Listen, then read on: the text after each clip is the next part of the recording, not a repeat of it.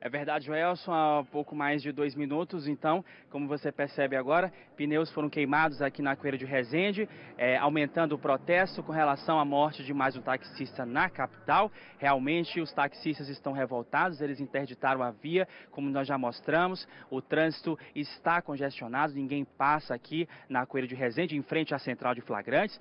Muitas chamas, muito fogo, são, são pneus que eles é, queimaram aqui na Coeira de Resende. É uma situação realmente complicada nesta sexta-feira, mais um protesto de taxistas após a morte é, de um senhor de 60 anos de idade. Como foi mostrado agora há pouco também em entrevista com o taxista, há quase um ano não morria um taxista na capital. O último caso foi registrado no centro de Teresina por volta das 6 horas da manhã no ano passado, há mais ou menos um ano. É, e os protestos foram parecidos. E agora aqui na central, eles estão reivindicando, reivindicando mais segurança, querendo mais justiça, esperando a chegada do suspeito que a polícia nesse momento faz diligência, muito fogo, muitos pneus aqui sendo queimados é, em frente à central de flagrantes na rua Coelho de Resende, em mais um protesto com relação à morte de um taxista em Teresina. Joelson.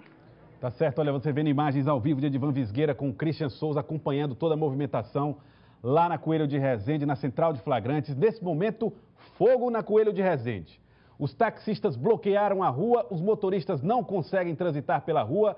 Há fogo colocado em pneus para protestar contra a morte desse taxista hoje, no Parque Lagoas do Norte. Como o Christian havia colocou muito bem, há pouco, um caso que não acontecia há um ano, aproximadamente. Mas essa morte hoje provocou o protesto que você acompanha com imagens ao vivo no jornal Cidade Verde, na Coelho de Resende, em frente à central de flagrantes.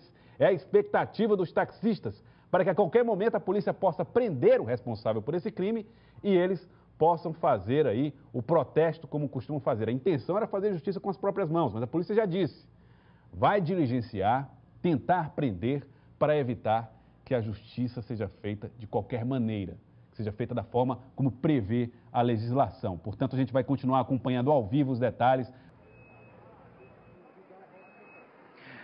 Os bombeiros é, foram impedidos de entrar na Coelho de Resende. Neste momento, a viatura já está deixando aqui a José Santos e Silva, está se retirando, é, desistiu de apagar o fogo aqui dos pneus que foram queimados na Coelho de Resende. Como você de casa percebe, a viatura já está indo embora e não conseguiu apagar o fogo dos pneus aqui na Coelho de Resende. Os taxistas agora, Joelson, bloquearam uma outra via que é a José Santos e Silva, que também está bloqueada. Ninguém tem mais acesso para entrar na Avenida Miguel Rosa e passar aqui ao lado da central de flagrantes. Então, parte da Coelho de Resende interditada e da José Santos e Silva também, que são as ruas que ficam ao lado da central de flagrantes. Muito fogo ainda nos pneus, é, a situação ainda é muito complicada, muito tensa. São os taxistas fazendo esse protesto nesta noite de sexta-feira com relação a mais um colega de trabalho que foi morto na zona norte da capital. Então, é, a Coelho de Resende está interditado, os pneus foram queimados, o fogo ainda está alto, o corpo de bombeiros foi embora, não conseguiu apagar o fogo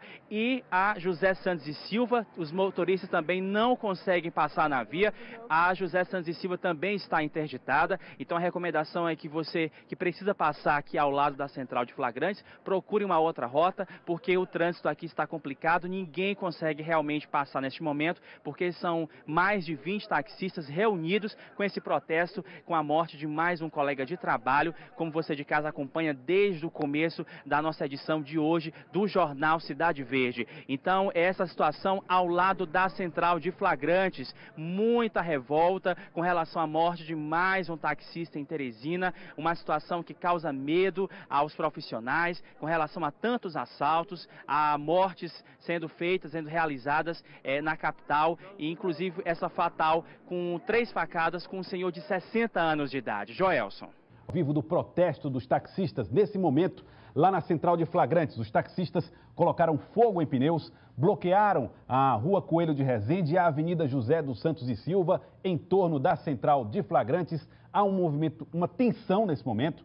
A expectativa é de que haja a prisão a qualquer momento do suspeito, que moraria, seria um morador da rua Pará, no bairro Matinha, o autor da morte de Pedro de Jesus, um taxista. Você vê imagens ao vivo de Edivan Visgueira e nós vamos encerrar aqui o Jornal Cidade Verde mais detalhes a respeito desse caso. Ok, nesse momento a informação que chega da produção da TV Cidade Verde é de que os policiais estão tentando negociar com os taxistas a liberação da via para que possa ser liberado o trânsito. O protesto segue, o Jornal Cidade Verde fica por aqui e mais notícias sobre esse caso você acompanha ao longo da programação e no Jornal Cidade Verde de amanhã, às 7h10 da noite.